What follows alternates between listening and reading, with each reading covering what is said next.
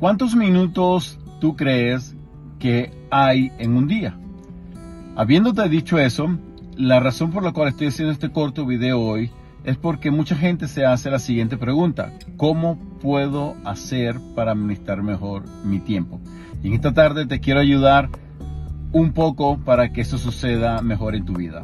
Bueno, primero permítame presentarme. Mi nombre es Erlin Barraez estoy hablando desde Calgary, Canadá, por eso me ves un poco abrigado porque está haciendo frío. Está nevando afuera, menos 15 grados centígrados. Y por aquí estamos para compartir un rato con ustedes de cómo podemos administrar mejor nuestro tiempo. Voy a darte la respuesta. ¿Cuántos minutos tenemos en un día? Tenemos 1440 minutos. Y mi trabajo es, en los próximos 4 minutos, poderte enseñar algo que en mi vida ha dado muy buen resultado y estoy seguro que en la vida tuya también podría dar buen resultado. Entonces, vamos a organizarnos con 84 minutos de tu día. Esos 84 minutos lo vamos a dividir en 7 secciones.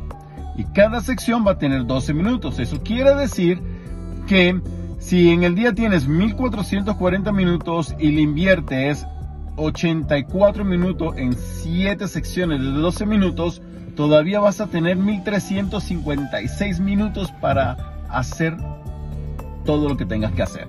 Bueno, primera sección. La primera sección son 12 minutos que deberías enfocarte en pensar en algo positivo de ti, agradecer y pensar en, por lo mínimo 25 cosas que te gustaría hacer. Normalmente yo agarro, eh, doy gracias por 25 cosas, pienso en 25 cosas positivas acerca de mí y pienso en 25 cosas que me gustaría hacer. Por ejemplo, algo positivo de mí, pues yo digo, eh, soy más que vencedor, por ejemplo. Algo que quisiera hacer, pues quisiera eh, comprarme una casa finca en Colombia. Cosas así. 12 minutos. Pon una alarma de principio hasta los 12 minutos para que cuando lleguen los 12 minutos ya pares y hagas otra cosa. Otra sección la puedes dedicar a hacer ejercicio. 12 minutos haciendo ejercicios es mejor que no hacer nada. Quizás tú haces más de 12 minutos, te felicito, pero si no estás haciendo ejercicio, ten la costumbre de hacer por lo menos 12 minutos de ejercicios en cualquier hora del día. No importa, en tu casa, no tienes que ir a un gimnasio.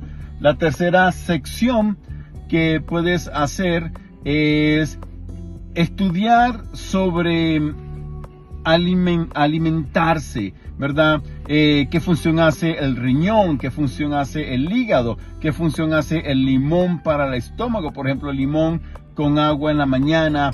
Eh, ¿Qué cantidad de carbohidratos deberías comer? Es bueno que leas sobre alimentación por lo mínimo 12 minutos al día.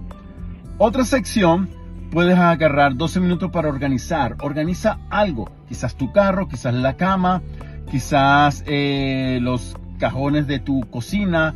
Eh, no sé qué pudieras tener, qué pudieras tú organizar en el día, pero todos los días agarra por lo mínimo 12 minutos para organizar algo. Eso te ayuda a prepararte mentalmente. ¿Qué más puedes hacer?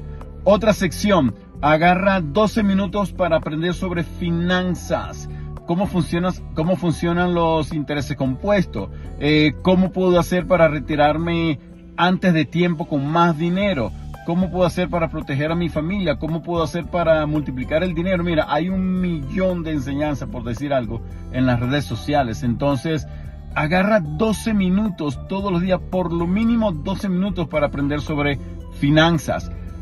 Próximo, próxima sección, agarra 12 minutos para organizar tu agenda, quizás la agenda de la semana, la agenda del mes, la agenda del año.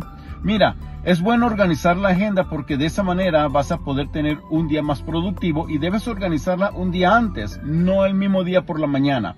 Otra sección que puedes agarrar es agarrar 12 minutos para aprender a desarrollar por lo mínimo una idea de negocio.